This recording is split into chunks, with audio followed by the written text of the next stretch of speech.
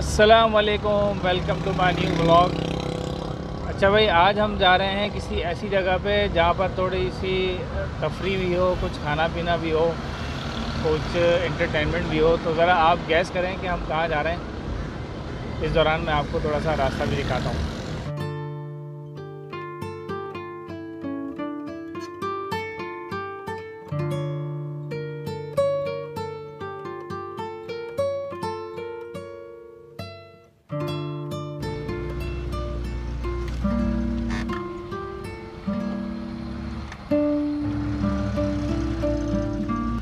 कराची का मौसम जो है वो बहुत ही अच्छा और ज़बरदस्त चल रहा है और ये शाम का वक्त है। आप देखें कि सूरज जो है वो ढलने पर है और लेकिन बादल हैं जिसकी वजह से जो है वो सूरज नज़र नहीं आ रहा। अगर ये बादल थोड़े से हटे हुए होते तो बहुत अच्छा मंज़र पेश कर रहा होता, लेकिन फिर भी इस वक्त भी बहुत अच्छा मंज़र पेश हो रहा है।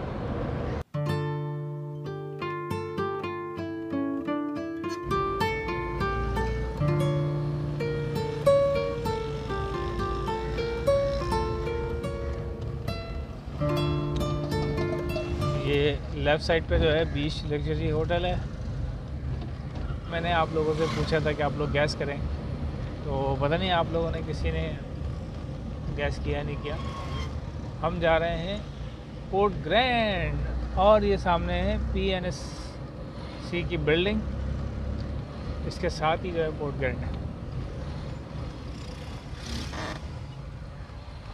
पहुँच गए हैं हम पोर्ट ग्रैंड और थोड़ा सा अर्ली आने का जो मज़ा है ना, वो ये है कि आप देखें, ये व्यू मिल जाता है यहाँ पे। और थोड़ी रोशनी से है ना, मज़ा आता है। ये आप देखें, ये बोटिंग यहाँ पर होती है। और ये सामने यहाँ पर टिकट मिल रहा है। ठीक है जी। और ये यहाँ पर लोग बैठ रहे हैं। ये नज़र आ रहा होगा आपको। फैमिली बैठ रही है।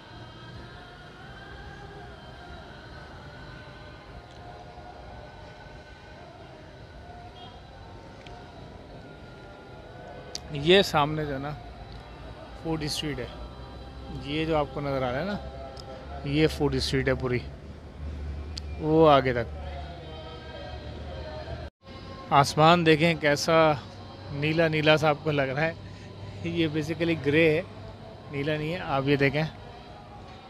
थोड़ा सा ये लाइट का रिफ्लेक्शन आ रहा है, जिसकी वजह से ये ब्लू ब्लू से लग रहा है स्काई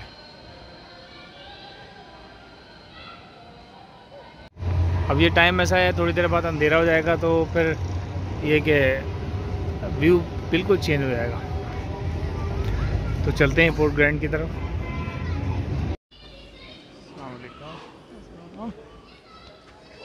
ये जनाब आ गए हैं हम पोर्ट ग्रैंड के टिकट पे। भाई से ज़रा पूछते हैं अस्सलाम वालेकुम भाई खैरियत से हैं? सर कितने का टिकट है आज? हंड्रेड उसमें कोपन भी शामिल है? अभी सिर्फ़ एंट्री चल रही है मुहर्रम की वजह से। ओके। अभी संडे तक ये हंड्रेड रुपीज़ एंट्री चार्ज होगी उसके बाद आफ्टर मुहर्रम से फिर दोबारा जाएगा। तो फ़ूड स्ट्रीट तो खुली हुई है ना? फ़ूड स्ट्रीट है ठीक है। चार दे दीजिए।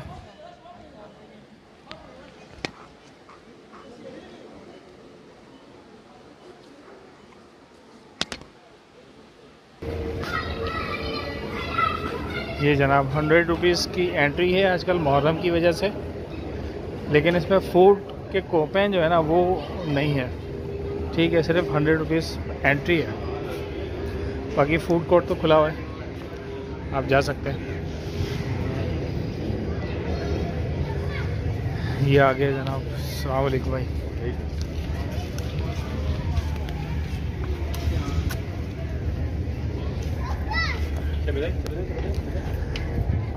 ये जनाब सामने आ गया पोर्ट ग्रैंड का मेन एंट्रेंस। अच्छा साथ ही है आर्ट गैलरी है पोर्ट ग्रैंड। बहुत ही ज़बरदस्त इसके अंदर जो है ना, वो मौजूद हैं। पेंटिंग वगैरह मौजूद हैं और सामने जो है वो कुछ एटीएम वगैरह भी लगे हुए हैं। एटीएम मशीन लगी हुई है। सामने फन गली है। ये फनगली बच्चों के लिए राइड्स वगैरह यहाँ पर हैं। जी जनाब चने ये भाई अंदर पोर्ट ग्रैंड के अंदर भी भाई पहुँच गए। हाँ साहब। हाँ साहब कितने का है ये चने वाला? पचास रुपए की कप पचास रुपए का है। एक चने की दे दें और एक वो वाली मकई दे दें। ये हो गया एक कप तैयार।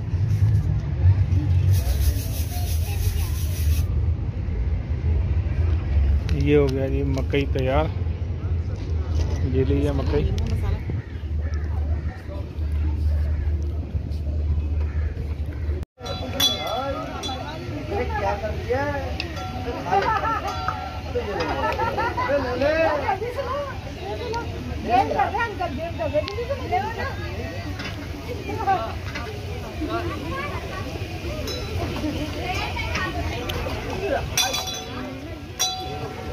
ये है जनाब नाइट व्यू पोर्ट ब्रांड का।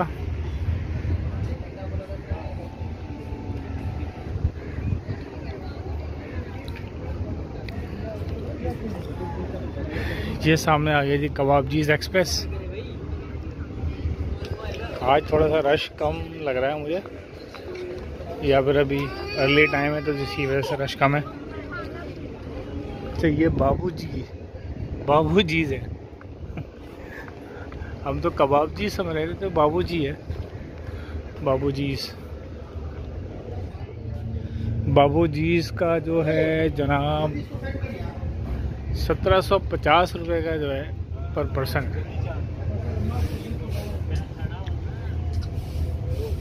और बूफे। सत्रह सौ पचास। ये नारी दहली स्टाइल। स्टाइल ही है, लेकिन नारी ऐसी होगी। टर्किश मड कॉफ़ी अच्छा। ये है टर्किश मड कॉफ़ी वाह। डिस्प्ले के लिए रखा हुआ है अभी इन्होंने। सर, ये कॉफ़ी के सारे। ये विदाउट टॉपिंग के ये टॉपिंग के साथ है। उसके अलावा हॉट चॉकलेट है हमारे पास वेफल्स है। और ये है मीडियम लार्ज एक है इसमें लेकिन अभी जो है ना फ़िलहाल सारे एक ही मीडियम है। सारे मीडियम में ही है ओके ये कप जो है पंजाब से मर्ड कॉफ़ी जो है वो एक सौ पचास रुपये की है भैया इसमें आएगी है डिस्पोजेबल में। ये कप भी डिस्पोजेबल होते हैं सही सही। चलें देखते हैं अभी हैं। थैंक यू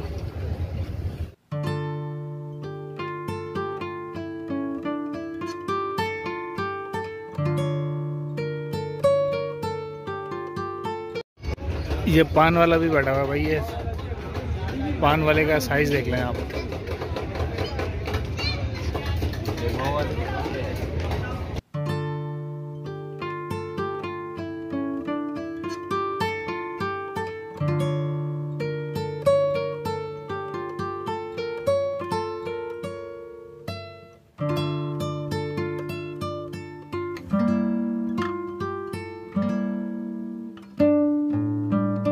ये जनाब यहाँ के गोलगप्पे हो गए। ये चाट हो गई। ओहो चलो ये तो मैं खा सकता हूँ।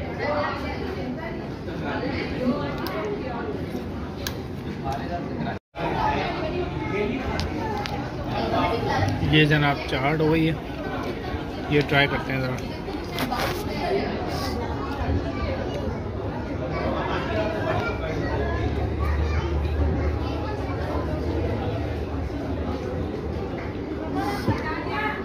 राशिद सी फ़ूड की जो है एक ब्रांच यहाँ पर भी खुल गई है। यहाँ से आप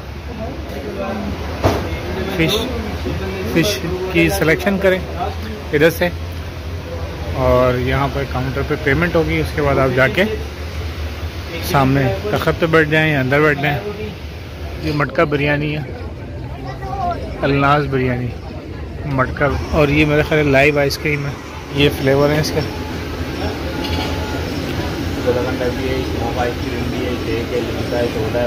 तो ये जो है, आप देखें, ये चल रहा है कहवा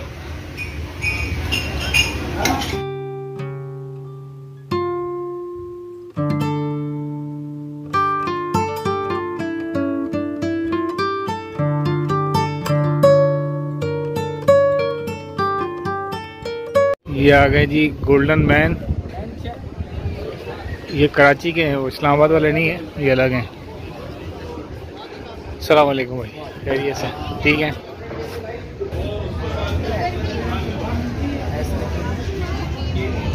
ये रुमाल ले लिया भाई ने हम ओह, रुमाल गायब? ये आ गया रुमाल। वाह भाई, क्या टेक्निक है? ये देखें, ये गई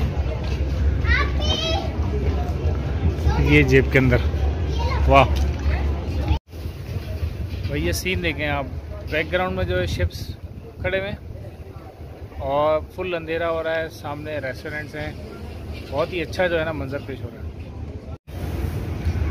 पन गली का गोला कंडा ये जनाब, बच्चों के लिए टॉफ़ियाँ आइसक्रीम ये सामने ट्रेन है। छोटी सी, वो टिकट घर हो गया।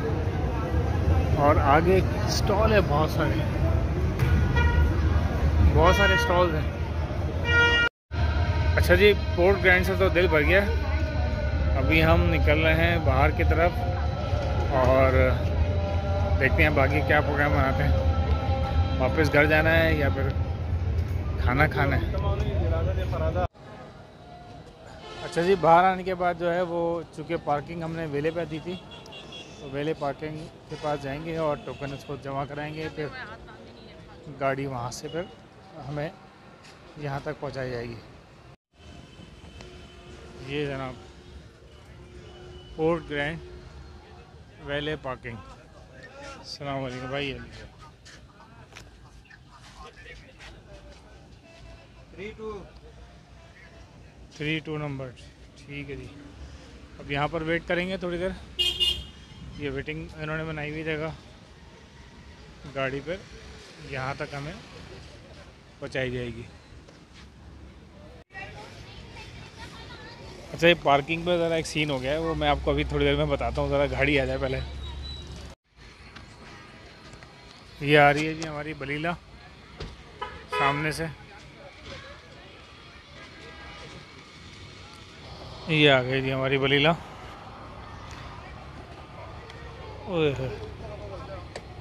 वालेकुम भाई, ये सही बताया था मैंने, गलत पुकारा उन्होंने शायद। अच्छा जी तो तकरीबन हम घर के पास पहुँच गए हैं। अच्छा सीन ये हुआ कि जब हमने वेले पार्किंग की तरफ़ गए ना तो मालूम ये हुआ कि वो गलती से नंबर कोई और पुकार दिया, गाड़ी कोई और सी आ गई। और मैं काफ़ी देर तक खड़ा रहा। मैंने कहा, भाई, ये शायद गाड़ी गलत आ गई है। आप जो है ना नंबर दूसरा पुकारें, फिर मैं नंबर बताया तो फिर दोबारा गाड़ी आई। अच्छा फिर वहाँ से निकले तो अब डिसाइड ये हुआ है कि खाना जो है घर पे मंगवा लिया जाए। तो मैं अभी यहाँ पर आया हूँ आइस एंड स्पाइस बर्गर के लिए और एक का रोल भी ले लें तो वो दिखाता हूँ आपको। अच्छा जी, ये है हसन जई। यहाँ पे जो है ना चिकन रोल मिलते हैं, बहुत अच्छे, मुनासिब रेट पे तो वो मैं लेने के लिए आया हूँ। यहाँ चटनी रोल तीन। जी, रोल का ऑर्डर दे दिया अब मैं जा रहा हूँ बर्गर के लिए। आइस एंड स्पाइस ये है जी आइस एंड स्पाइस बहुत पुरानी शॉप है बर्गर की और बहुत अच्छे इसके बर्गर होते हैं। तो चलते हैं हम आइस एंड स्पाइस जी ऑर्डर दे दिया अभी ज़रा थोड़ा सा टाइम लगेगा तो वेट कर लेते हैं जब तक। अच्छा जी, ये बर्गर भी ले लिया है और ये रोल भी ले लिए हैं। अब मैं जा रहा हूँ घर की तरफ़। ठीक है जी। अच्छा जी, ये बर्गर आ गया आइस एंड स्पाइस का, जो हमने अभी परचेज़ किया था। इसको हम निकालते हैं प्लेट में। ओह। वैसे काफ़ी सालों से मैं खाता आ रहा हूँ और इस बर्गर की क्वालिटी जो है ना, वो माशाल्लाह अच्छी रही है।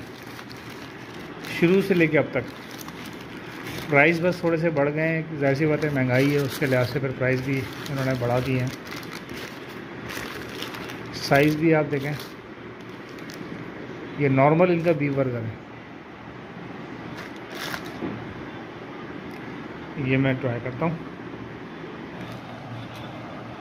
ये देख रहे हैं आप फुल साइज़ बिस्मिल्लाह रहीम